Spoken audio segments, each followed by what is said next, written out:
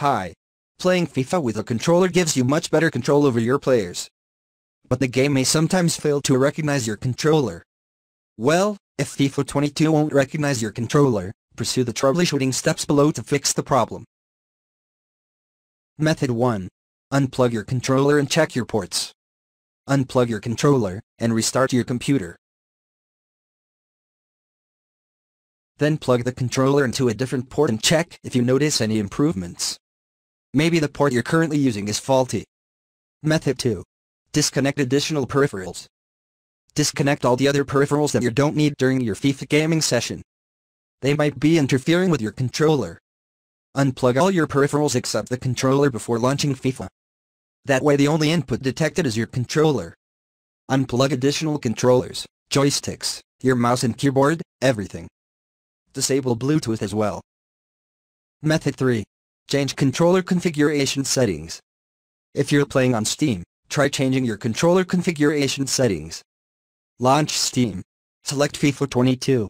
Right-click on it and select Settings. Then select Controller, and click on Controller General Settings. Select the controller configuration you want to use depending on your controller. Xbox configuration support. PlayStation configuration support generic gamepad configuration support. Then open Big Picture mode.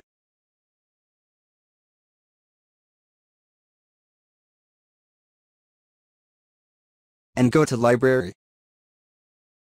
Select FIFA. Go to Manage Game. And select Controller option. Set Steam input settings to Force On. Apply the changes. Close Steam, and restart your computer. Launch FIFA and check if your controller works properly. Method 4. Update your controller drivers to the latest version. Method 5. Get a new controller. Check if you can play FIFA with a different controller. If it works, this may indicate your controller is either faulty or incompatible with your FIFA version. If you're using a really old controller, you may need to buy a new one.